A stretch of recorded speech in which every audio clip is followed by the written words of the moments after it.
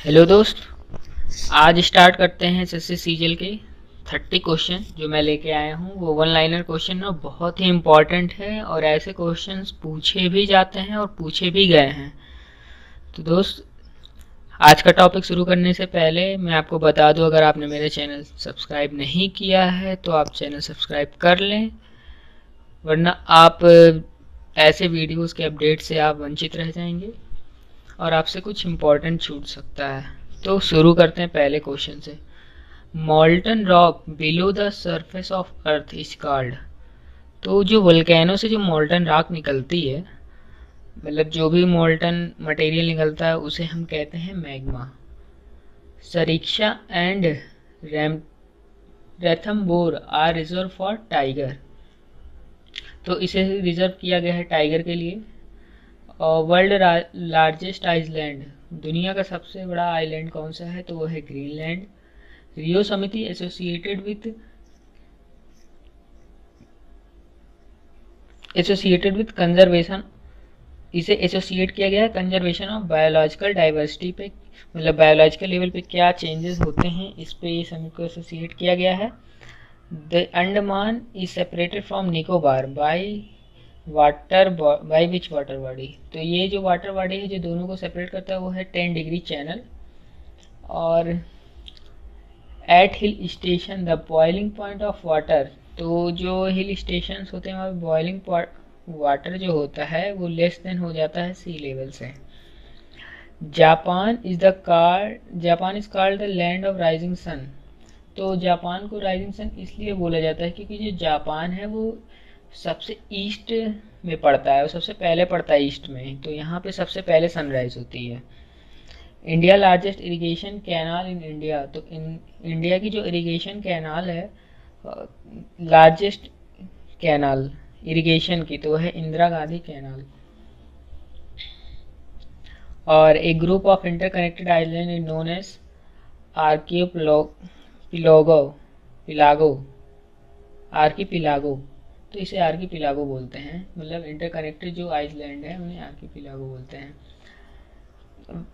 तो the most important raw material for the generation of power in India तो India में सबसे ज़्यादा पावर जनरेशन की की दोस्त इलेवेंथ क्वेश्चन है harvesting season of kharif crops in India तो जो खरीफ की फ़सल होती है, उसे कटाई करते हैं हम सितंबर और अक्टूबर में। इसमें मेनली आती है राइस और region in India now regarded as an ecological hot spot तो ये जो hot spot ecological hot spot है, ये कहा जाता है वेस्टर्न घाट्स को। The Beaufort scale use to measure तो ये ब्यू फोर्ट एक स्केल होता है जिससे हम विंड वेलोसिटी को मेज़र करते हैं। The source of energy that causes the least global warming is तो सबसे कम ग्लोबल वार्मिंग जो होता है एनर्जी सोर्स जो है, वो है geothermal energy the tides in the sea are primarily due to gravitational effect of the moon on the earth तो जो टाइड्स होते हैं, जो टाइड्स आते हैं सी में, वो मेनली होता है gravitational effect of the moon on the earth next question है the world top environment conservation award तो वर्ल्ड का टॉप इन्वायरमेंट कंजर्वेशन अवार्ड है Golden Panda Award the outermost layer of sun is known as तो outer most layer sun को कहते हैं corona और the highest percentage of carbon is found in which form of coal तो सबसे ज़्यादा cold पाया जाता है एंथ्रासाइड में, जो कि बहुत मैक्सिमम होता है इन चारों में.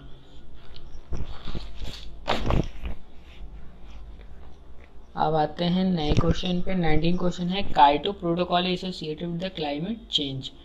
तो ये जो प्रोटोकॉल है, ये एसोसिएट है पूरा का पूरा क्लाइमेट चेंज के ऊपर। The northern part of the west coast in India is known as तो जो नॉर्दर्न पार्ट है, वेस्ट कोस्ट इंडिया का, वो है Konkan coast. Busiest international sea port in India तो सबसे ज़्यादा जो बीजी सबसे ज़्यादा बिज़ी इंटरनेशनल जो पोर्ट है सी का, वो है मुंबई का। The Great Barrier Reef is the world largest coral reef located in तो जो ग्रेट बैरियर रीफ है, ये दुनिया का लार्जेस्ट कैरल रीफ है और ये लोकेटेड है ऑस्ट्रेलिया में. City of Iraq is located on Tigris river Tigris river पे बसा हुआ शहर कौन सा है? Baghdad.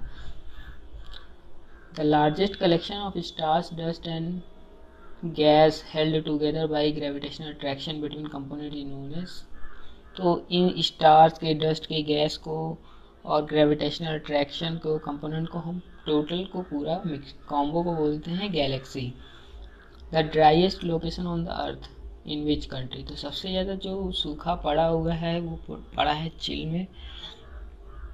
और the land form form by wave erosion तो जो लैंड फॉर्म होता है वेव इरोजन के द्वारा उसे हम कहते हैं cave the core of earth is also known as तो कोर का जो, जैसे अर्थ के तीन पार्ट होते हैं, मेंटल, जो सबसे ऊपर पार्ट होता है, और कोर जो होता है, वो सबसे अंदर का पार्ट होता है। और अर्थ का सेंटर मैं आपको बता दूँ कि सी लेवल से मतलब 6000 किलोमीटर नीचे अगर हम जाएँगे तो हमें, हम अर्थ के सेंटर पे पहुँच जाएँगे। तो इसे बोलते हैं barysphere. The headquarter of National Film Archives of India NFAI इसका हेडक्वार्टर कहाँ पे है? इसका हेडक्वार्टर है Pune. Suez Canal connected Red Sea and Mediterranean Sea मतलब स्वेज नहर किस किस को कनेक्ट करती है? तो लाल सागर और भूमध्य सागर को ये कनेक्ट करती है। The uppermost layer of atmosphere तो सबसे अपर मोस्ट लेयर जो है एटमॉस्फेयर की है, वो है एक्सोस्फीयर तो friends thanks for watching this video और, ऐसे अपडेट्स के लिए आप चैनल को सब्सक्राइब करिए वीडियो को लाइक करिए। और जिन्हें भी हो सके ये वीडियो शेयर करें अपने दोस्तों में। Okay thanks for watching